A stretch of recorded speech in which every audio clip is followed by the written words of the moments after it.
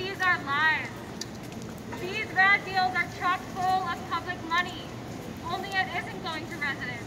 It's being rerouted from private developers and investors through fabricated financial instru- instruments which work solely in their favor, like Section 8, tax-exempt loans and tax credits.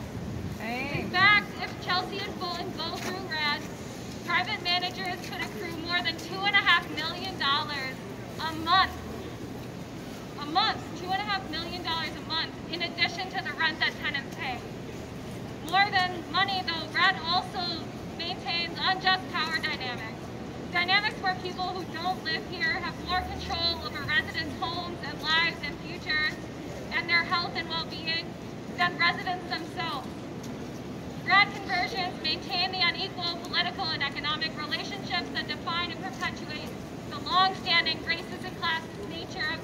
Of this country. We're here today to say enough. Enough of this fucking bullshit. We're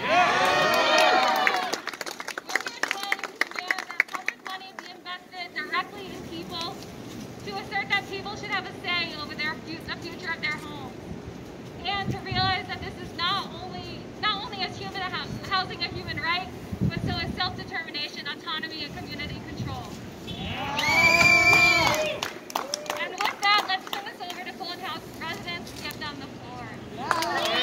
Yeah.